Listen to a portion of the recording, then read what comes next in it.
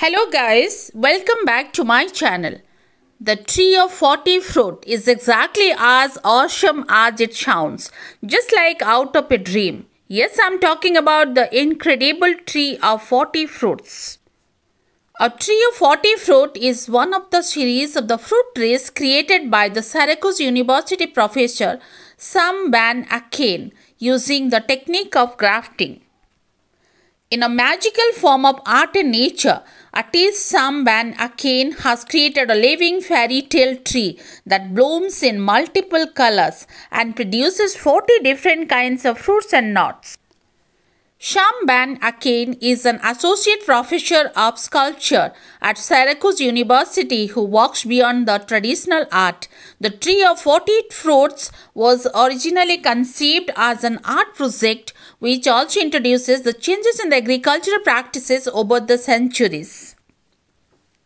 Sam estimated that it took at least 9 years for a tree of 40 fruit to reach its peak, that is 5 years for the grafting to develop and another 4 years for fruiting.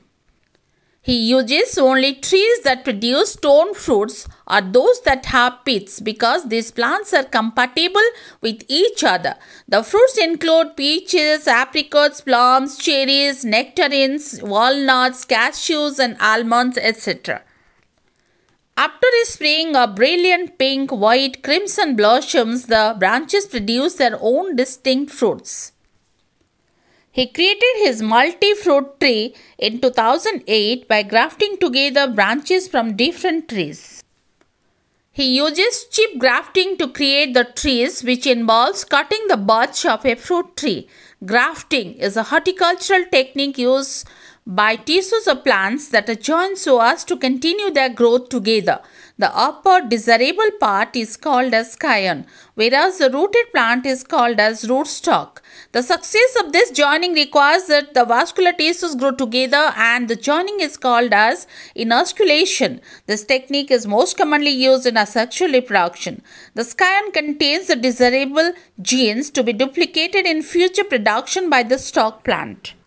So, chip grafting is a grafting technique. A of wood containing a bud is cut out of the scion with desirable properties. A similar shaped chip is cut out of the rootstock and the scion bud is placed in the cut in such a way that the cambium layers match.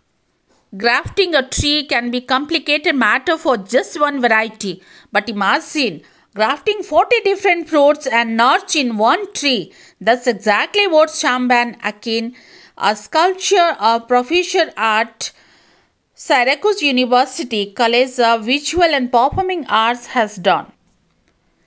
The art project in this sense gradually become a means of conversation. It's a wonderful opportunity for students to interact with an art piece that also produces fruit.